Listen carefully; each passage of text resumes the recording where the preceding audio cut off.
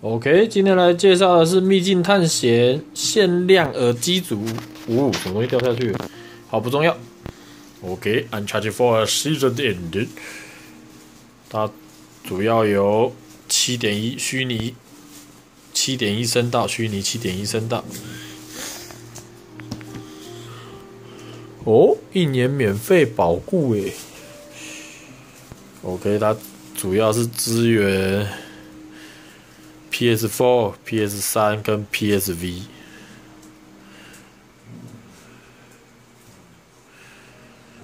当然它也可以独立跟手机使用，还有跟两大电脑平台微软还有 Mac 都可以用。OK，简单的说，这个耳机嘿嘿，视频在这里，现在充电，充电灯。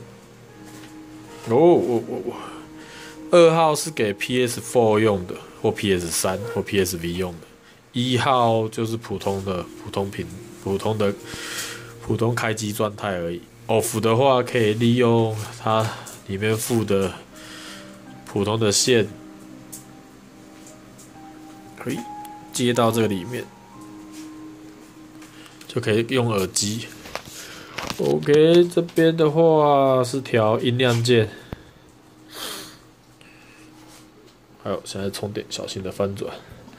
哦，上面有虚拟什么环境的，什么沙小的，忘记了，等下来看说明。那这个是音量，这个是静音，就还蛮方便的，在这个按钮。OK，啊，使用上的话，PS4 首先要去下载。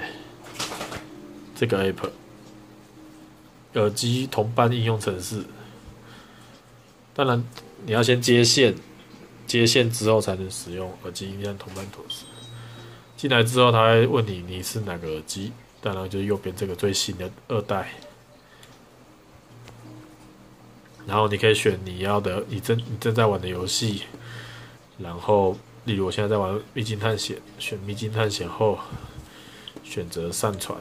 它就可以把这个音效主态给更新到手机那个耳机的硬体里面。诶，是的，上传中，巴拉巴拉巴拉巴拉，OK，这样就代表它现在是使用，目前是使用那个秘境探险四，这样子进去就有七点一声道哦，超爽的。OK，那我们再看一下，啊，它附的这个。USB 的无线线就是插在 PS4 的前端 USB 就可以了，插上去，然后你转电源打开一或二，它就会开始自动连线，完全不用设定，还蛮方便的。OK，七点一虚拟声道，叭叭叭叭叭叭叭，三点五五的那个耳机。